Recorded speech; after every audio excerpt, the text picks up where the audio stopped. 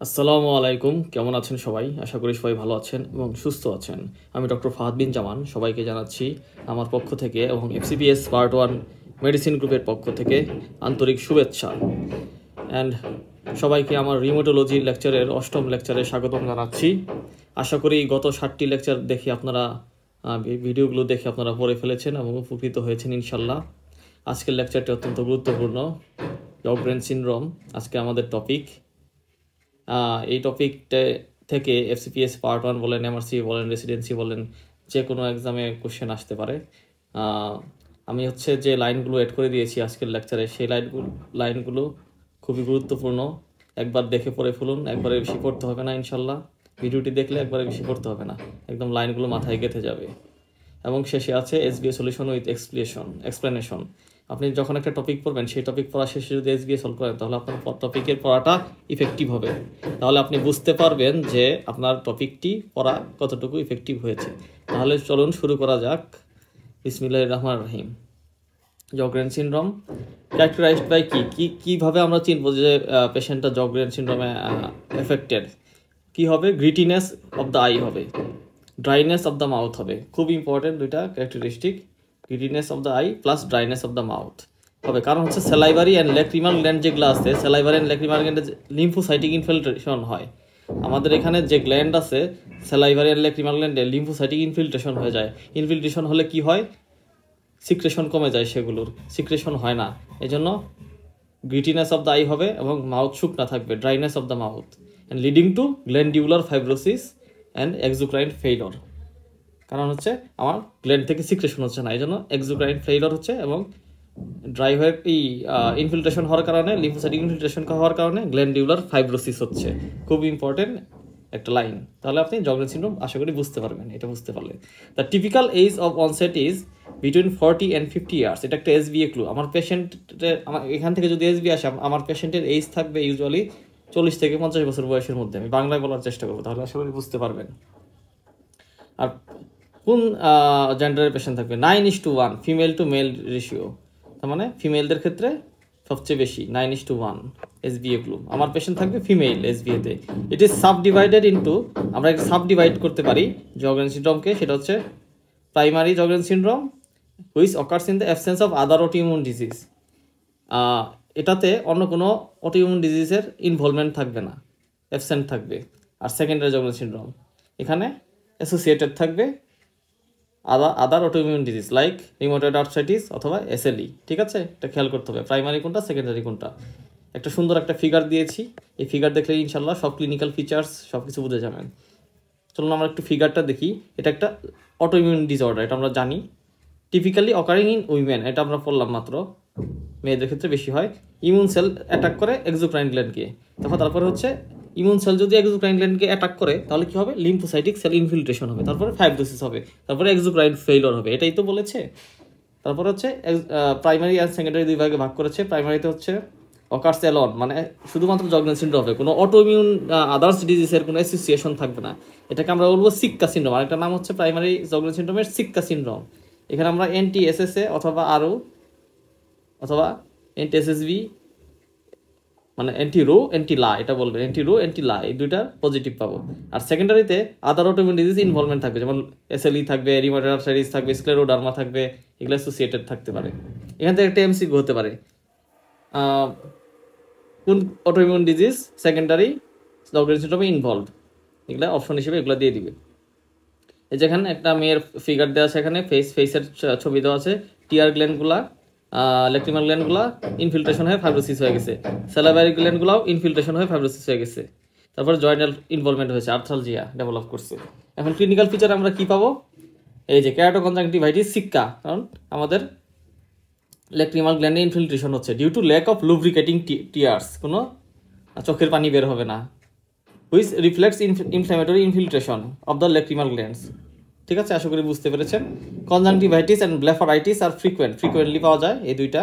Oral involvement manifest as a dry mouth যেহেতু salivary গ্ল্যান্ডের secretion কমে গেছে এক্সোকাইন ফেইলর হচ্ছে, সেই ক্ষেত্রে আমরা ড্রাই মাউথ পাবো।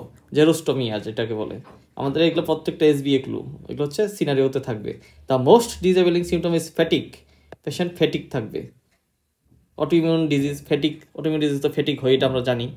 তার মানে এটা হচ্ছে এসবিএ সিনারিও দিয়ে বলতে পারে মোস্ট ডিজেবলিং সিমটম কি? ফেটিক কখন আপনাকে যখন সিমটমের স্ক্রিনিং করতে হবে? দেখেন, কিছু ইনভলভমেন্ট আছে। যেমন ইন্টারস্টেশিয়াল লাং ডিজিজ যখন লাং ইনভলভমেন্ট হয়, তখন কি নিয়ে প্রেজেন্ট করবে? Dry cough dyspnoea coarse crackles on lung auscultation ঠিক আছে? লাং অসকলটেশন করলে কিন্তু কোর্স ক্রেকেলস পাবেন ফাইন ক্রেকেলস না, খেয়াল করতে হবে। ড্রাই কাপ প্রোডাক্টিভ কাপ না ডিজনিয়া থাকবে।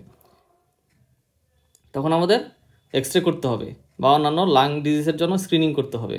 চকলেট সিন্ড্রোমকে আমরা স্ক্রিনিং করতে হবে যে আমরা লাং ডিজিজ পেশেন্ট হচ্ছে এই ধরনের কম সায়েন্স সিমটম প্রেজেন্ট করতেছে dry cough dyspnoea coarse crackles তাহলে আমরা একটু জগলেন সিন্ড্রোমটা স্ক্রিনিং করে দেখি জগলেন সিন্ড্রোম এর সাথে অ্যাসোসিয়েটেড আছে কিনা, এরকম আর কি ব্যাপারটা। আর একটা হচ্ছে কিডনির ইন্টারস্টেশিয়াল নেফ্রাইটিস যেটা প্রেজেন্ট করবে পলিউরিয়া থাকবে sometimes complicated by renal tubular acidosis কোন রেনাল টিউবুলার অ্যাসিডিসিস হবে বলেন তো? Type one distal renal tubular acidosis এটা খেয়াল করতে হবে কিন্তু। সব কিন্তু না, শুধু টাইপ ওয়ান তার মানে আমরা যদি এই ধরনের কিডনি ইনভলভমেন্ট পাই তারপর আমাদের জগন সিন্ড্রোম স্ক্রিনিং করতে হবে।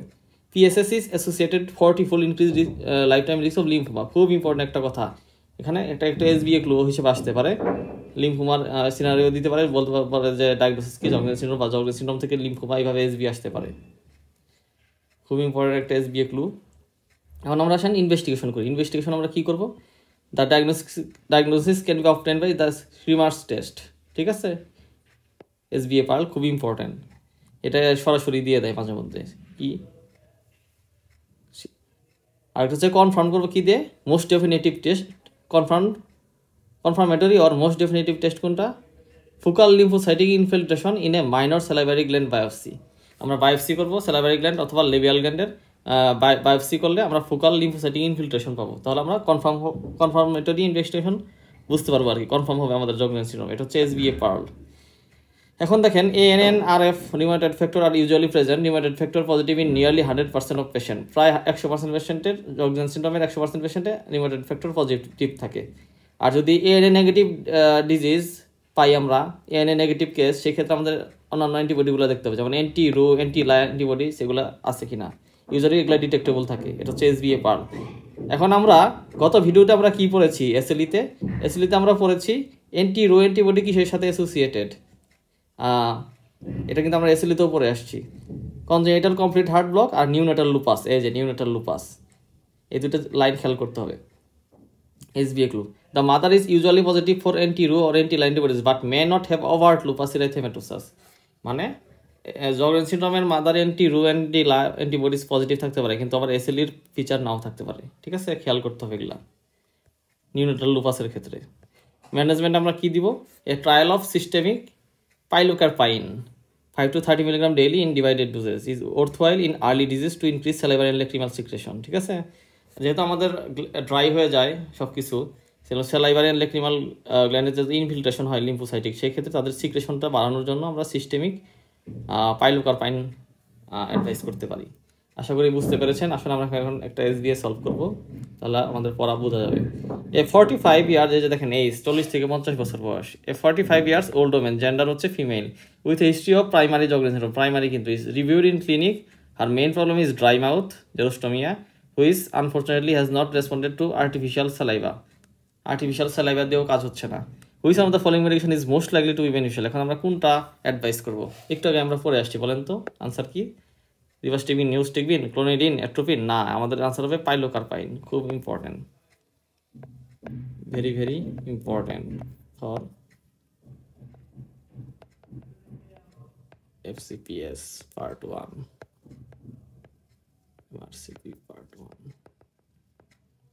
exam আশা করি আমার আলোচনা সারমর্ম বুঝতে পেরেছেন।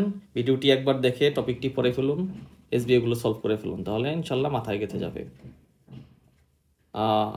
পরবর্তীতে যে কোনো ইনফরমেটিভ ভিডিও সেটা রেভিডসন মেডিসিন রিলেটেড হোক বা বায়োস্ট্যাটিস্টিক্স লেকচার তো চলছেই, এবং বেসিক ফিজিওলজি রিলেটেড হোক, সেগুলো পেতে আমার ইউটিউব চ্যানেল ডক্টর ফাদবিন যেমন সাবস্ক্রাইব করে রাখার অনুরোধ রইল। আমি সবগুলো প্লে লিস্ট অ্যাড করে দিচ্ছি, তাহলে সব এখন থেকে সব চ্যাপ্টারের ভিডিও একসাথে পাবেন। ক্রমান্বয়ে ধারাবাহিকভাবে দেখতে পারবেন। আর হচ্ছে নোটিফিকেশন বেলে ক্লিক করে রাখলে নোটিফিকেশন চলে আসবে আপনার ডিভাইসে সামনের দিন ইনশাল্লাহ নতুন কোনো ভিডিও নিয়ে হাজির হব। সেই পর্যন্ত আজকে এখানেই বিদায় নিচ্ছি। সবাই ভালো থাকবেন, সুস্থ থাকবেন। আমার জন্য সবাই দোয়া করবেন। আসসালামু আলাইকুম। আল্লাহ হাফেজ।